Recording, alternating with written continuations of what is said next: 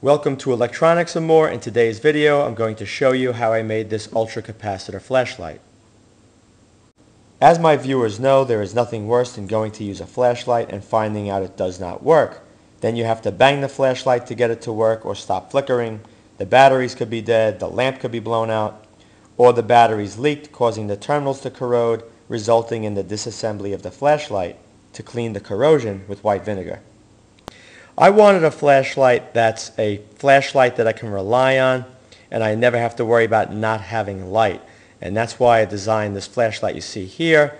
So at any one time, I will always be able to have a flashlight. Now I made it with this end. This is an end I removed from a cell phone charger. Just so happens that it was only three quarters of an inch in diameter. So when I cut it off the cable that it was attached to, it slid perfectly inside this three quarter inch slip by 1 inch PVC reducer. The pipe that it's made from is 1 inch.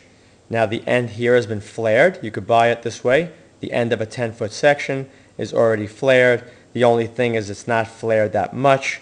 Usually it's flared from my finger to the end. So what I did is I heated the section up. I have a video for that. So if yours is not this long that you see here, which is roughly two and three quarter inches, the overall length from the top of this pipe to the bottom is six and a quarter.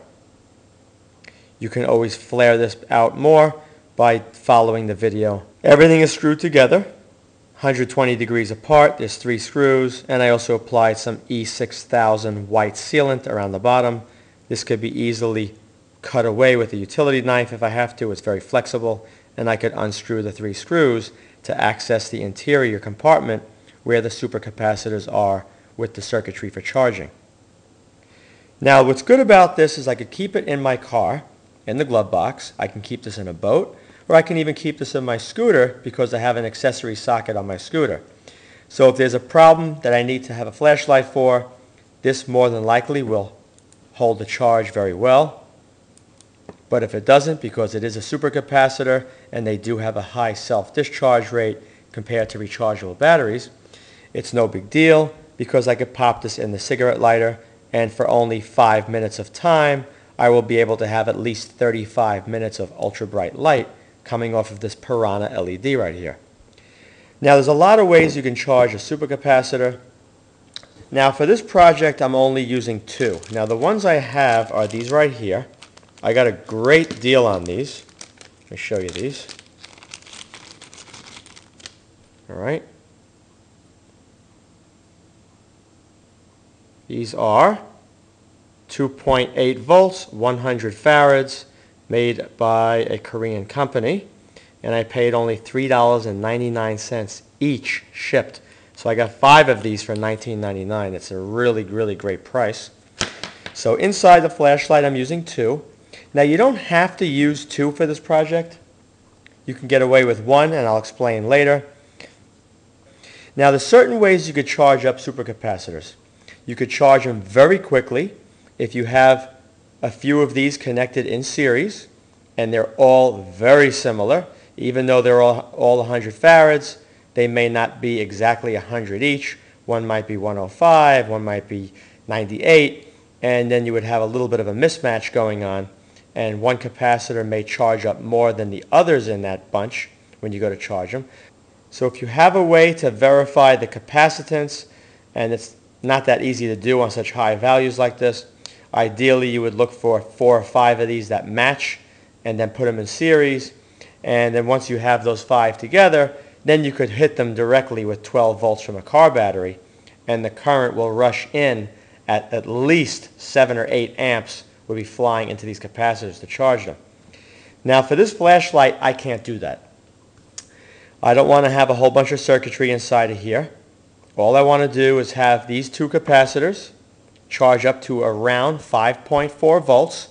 And once it charges up to 5.4 volts, what I would like to do is have this LED to be powered at a stable 3.1 or 3.2 volts.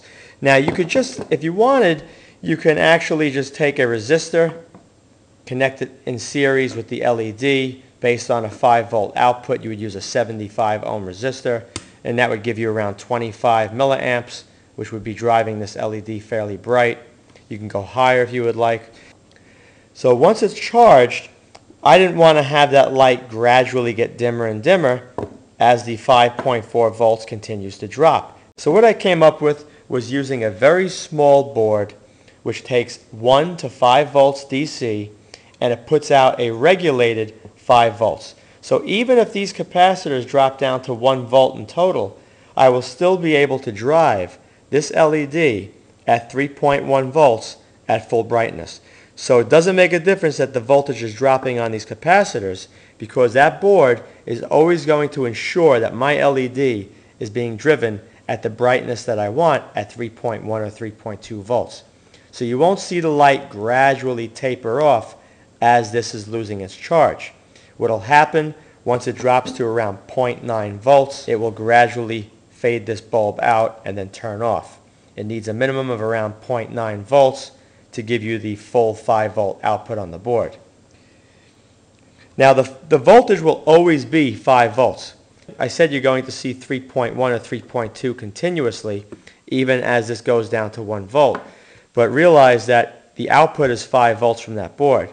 So I have a 75 ohm resistor and it always gives me around 26 milliamps which maintains around 3.1, 3.15 volts on the LED even though the voltage is slowly dropping. Once it gets down to that 0.9 volts and I see this LED start to fade out, I'll know it's time to pop this back in the lighter. If I plug this in for five minutes, I'll get at least a 35 minute light source. And if I plug it in for 10 minutes, I'll have well over an hour. If I do it for 15 minutes or 20, then I'll have well over two hours. And for me, that's ideal.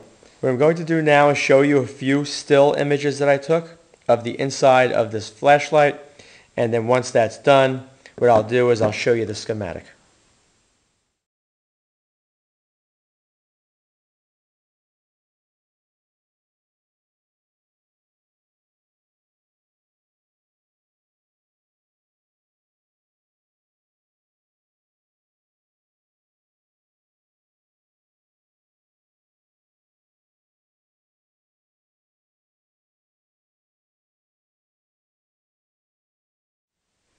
Now inside here, there's a fuse. You unscrew this. There's a 2 amp fuse. I won't be using anywhere near that. Just an added safety feature in case of a failure inside this flashlight, which is highly unlikely. The fuse will blow. The end cap is a flat 1 inch PVC cap. Switch is just your regular push on, push off. And I have six stainless steel screws, 120 degrees apart, so I can easily remove each end if I want to access the compartment. This should be a very trouble-free flashlight and I should get many years of use out of this flashlight. Alright, here's your 12 volt power supply. This is your accessory socket or your cigarette lighter. Now once it goes in, the positive, the purpose of the diode is so later on, once you remove this from the lighter, you don't have to worry about short circuiting between the positive and the negative. You could do whatever you want and nothing will happen. That's the purpose of that diode right there. The 18 ohm 3 to 4 watt resistor is used to limit the current flowing into the capacitors. Now if I make this lower, what's going to happen, the transistor will become very hot. And I don't want that to happen because these capacitors right here are rated for between minus 40 degrees Celsius and 60 or 70 degrees Celsius.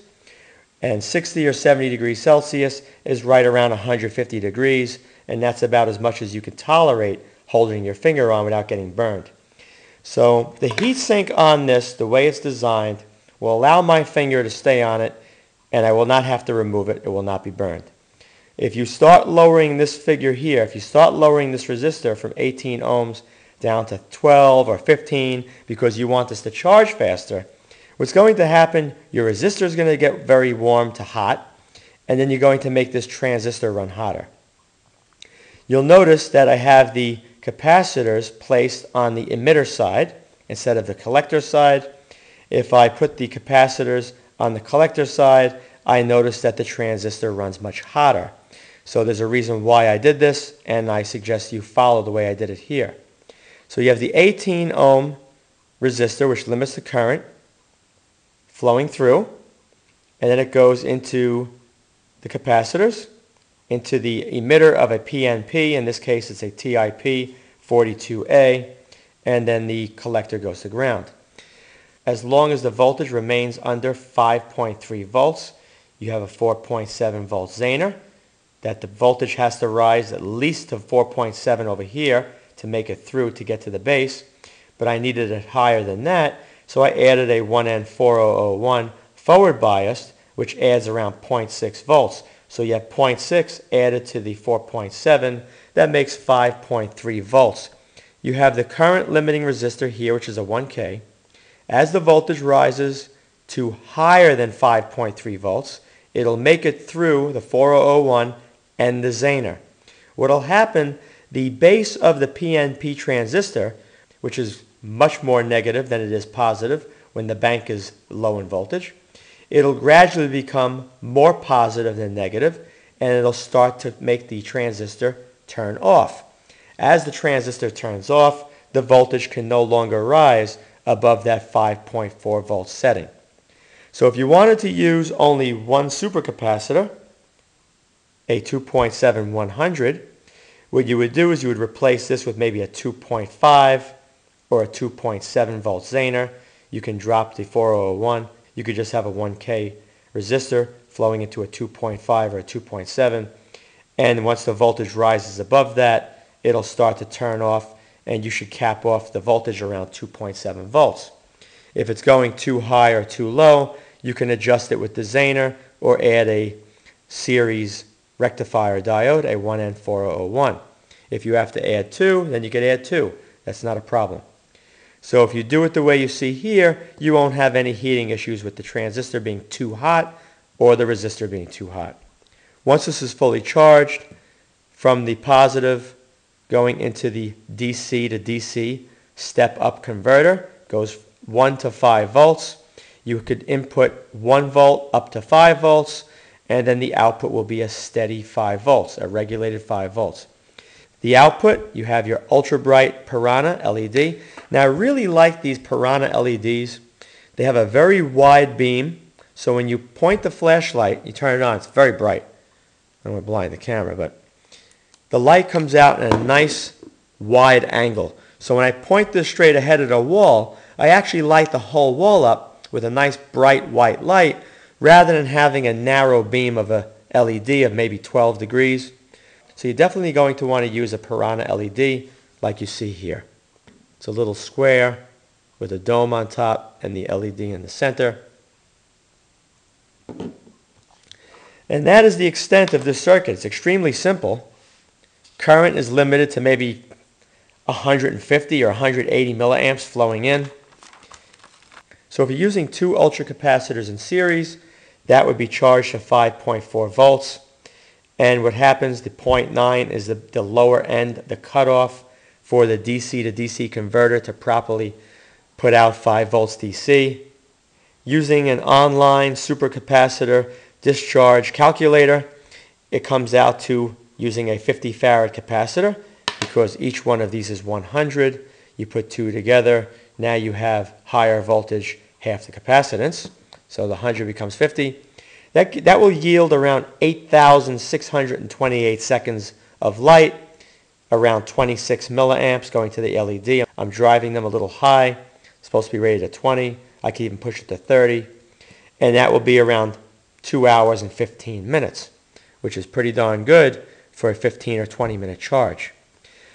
Now if you use a 2.7, only one supercapacitor, and that drains down to 0.9 volts using 100 farads, you'll get around three quarters of this output, maybe a little more, 6,873 seconds or 115 minutes almost. And that's pretty good. It's only about a half an hour shy of using the two. So if you don't want a flashlight that's this big, you can just use one capacitor and that won't be an issue if you don't mind a little less runtime. Now if you wanted to go larger, the problem is it may not fit inside this flashlight because they get a little fatter and a little longer, these capacitors, as the value goes higher. So if you tried a 200 or a 350 farad, you're going to have to use a much larger PVC pipe, and then it's not going to be good because it's not going to be small to fit in your hand nicely. It'll just be some big fat pipe, and that will not be good.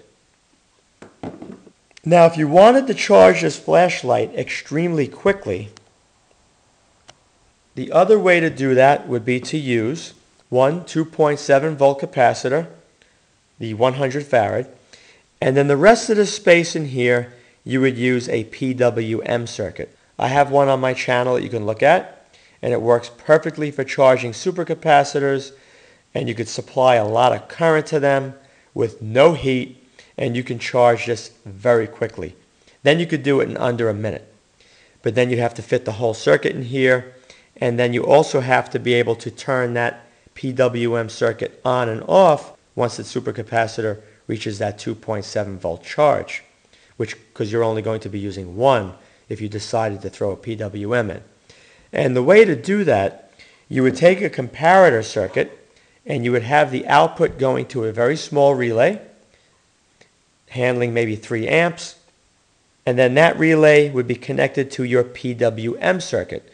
So once the voltage climbs, what will happen, the relay will turn off using that comparator circuit, turning off the PWM circuit. So that's another alternative if you don't want to have to wait 5 minutes or 15 minutes to charge this up. Just wanted to put that out there so you know. If you enjoyed this video, Please rate it a thumbs up, subscribe, and post links to this video on other websites and blogs. Also be sure to check out my video playlist as well. Thank you very much for watching.